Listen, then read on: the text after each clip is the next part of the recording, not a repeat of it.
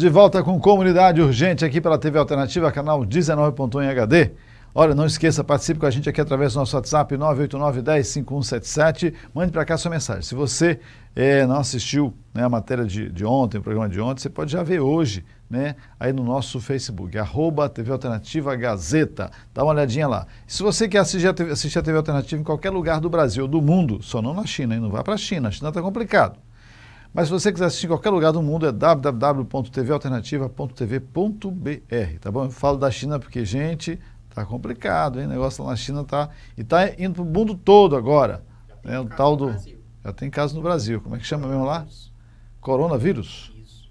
Negócio pesado. Gente, a Polícia Civil do Maranhão deflagra a operação e efetua a prisão em flagrante em Buriticupu, no Maranhão. Olha, após denúncias anônimas feitas pelo WhatsApp, Delegacia de Polícia Civil de Buriticupu iniciou é uma série de investigações que acabaram na expedição de mandado de busca e apreensão domiciliar na casa de um suspeito. Na casa do suspeito, a polícia encontrou porções de crack, cocaína e maconha, materiais para o reparo, né, o preparo né, de substâncias entorpecentes, munições, uma motocicleta roubada, além de uma expressiva quantia de dinheiro. Está tudo aí, ó. De dinheiro em notas de 10, né? Não 10 e 20, né? 10, 20, 50 e 100. É dinheiro pra caramba, hein? Foram encontrados relógios e, uma, e um revólver calibre 38 pertencente ao suspeito. O suspeito foi autuado em flagrante por tráfico de drogas e posse de munição. Tá aí, mostra a cara do suspeito. Cadê a foto do suspeito? Eu vou parar da notícia aqui, viu, polícia? Polícia Civil. Vou parar da notícia aqui porque se não mostrar a cara do bandido não adianta. Não adianta não. Tem que mostrar a cara do bandido. Acabou que foi preso lá.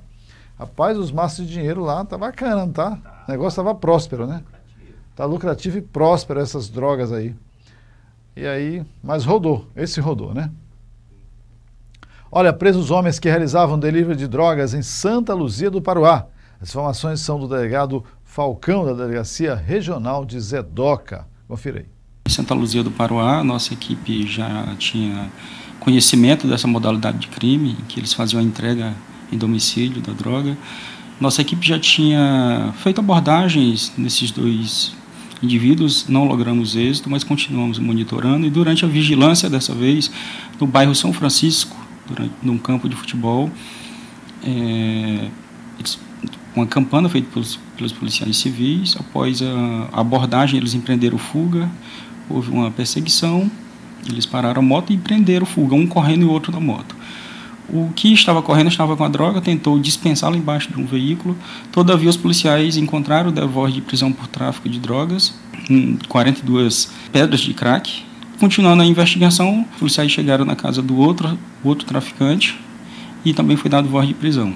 Então, a Polícia Civil continua firme aí, trabalhando e combatendo o tráfico de drogas em Santa Luzia do Paraná. A questão da droga é muito preocupante, né? Porque ela é uma espécie de porta de entradas para outros tipos de crime, né? Verdade. Geralmente, os usuários de droga, eles praticam outros crimes para poder manter o vício.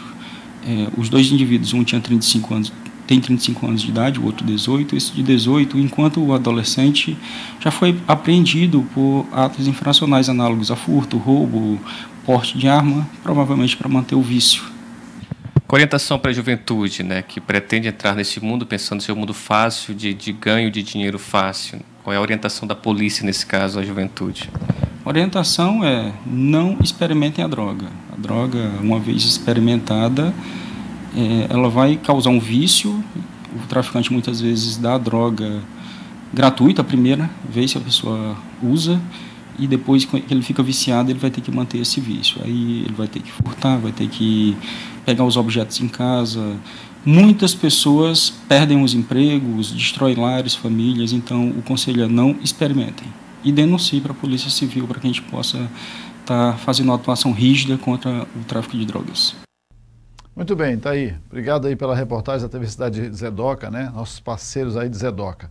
Olha, droga, não experimente. O delegado falou muito bem, não experimente, porque experimentou uma vez, amigo, Aí você vai. É aquela história, né? O cara até dá para você começar, depois começa a te cobrar. E aí começa a coisa, começa né, ficar difícil. Entrou na droga, esquece.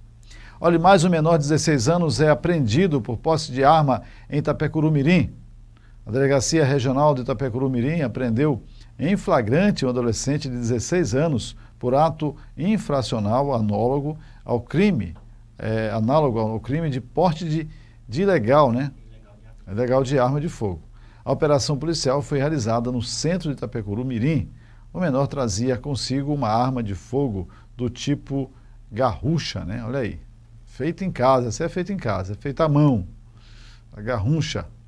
É carregada com munição calibre 32. O adolescente foi reconhecido por vítimas como autor de ato infracional análogo ao crime de roubo de celular no bairro é, Aviação. Ele também é suspeito de, de prática de homicídio, segundo testemunhas. Né? O rapaz então já era velho conhecido, né? E aí, olha, você vê como é que é, né? É uma arma feita em casa, mas é perigo, né? Pode matar. Sem dúvida nenhuma. É uma arma de fogo de, de calibre 32. Né? E pode matar. Então, ver um cara desse com uma arma dessa, nem, nem acha que é, que é historinha, porque pode realmente acontecer o pior. Né? Então, chame a polícia, chame a polícia. O tamanho do cartucho gigante, né? No próximo bloco tem a sua participação pelo WhatsApp e ainda buracos e lixos viraram rotina dos moradores das ruas do bairro Santa Clara. É, é na realidade não é o bairro Santa Clara, sabe onde é? Ali é loteamento Santa Clara, em Passo Lumiar, ali em Bacuritiba. Já já no próximo bloco.